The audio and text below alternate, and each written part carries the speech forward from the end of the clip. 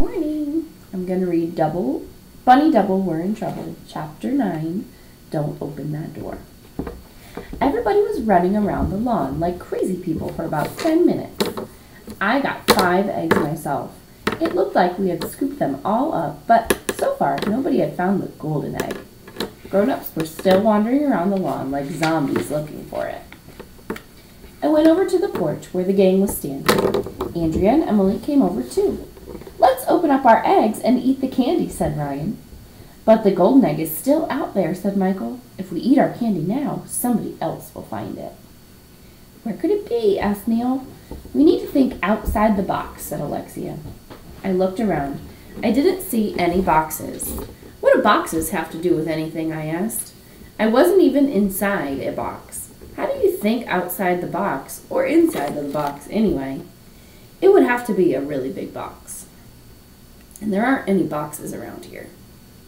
Arlo, chill, Andrea said. There are hundreds of people out here on the lawn, right? Right, we all said.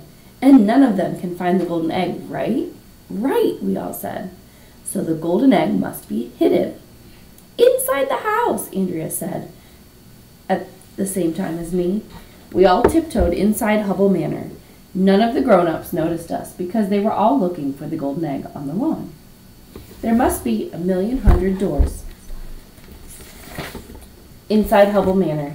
We started sneaking down the hallway like secret agents, hiding behind curtains and giggling. It was cool. I bet there are some peeps in here somewhere, Alexia said. If you were a peep, where would you be? asked Neil.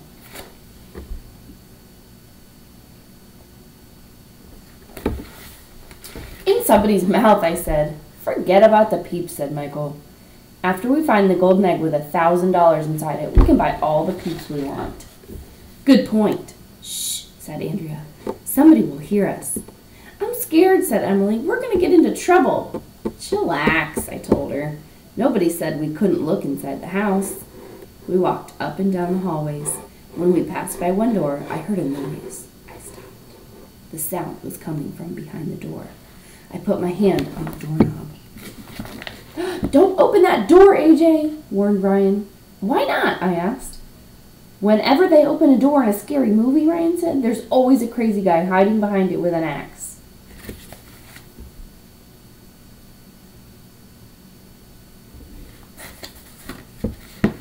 That's ridiculous, said Michael. Believe me, there's no crazy guy hiding behind this door with an axe. You're right, I said. He might have a chainsaw. Stop trying to scare Emily, said Andrea. I'm scared, said Emily. My hand was still on the doorknob. What if there really was a crazy guy with an axe or a chainsaw hiding behind the door? I was faced with the hardest decision of my life. I didn't know what to do. I looked at Alexia. Alexia looked at Ryan. Ryan looked at Michael. Michael looked at Neil. Neil looked at Andrea. Andrea looked at Emily. Everybody was looking at each other. I took a deep breath. I turned the doorknob. I pushed the door open, and you'll never believe in a million hundred years who was sitting in that room. Who do you think it was? I don't know. Who was it? It was the Easter Bunny. And he had no head. Wait, can we see the dad? There's no picture. You have to imagine it in your head.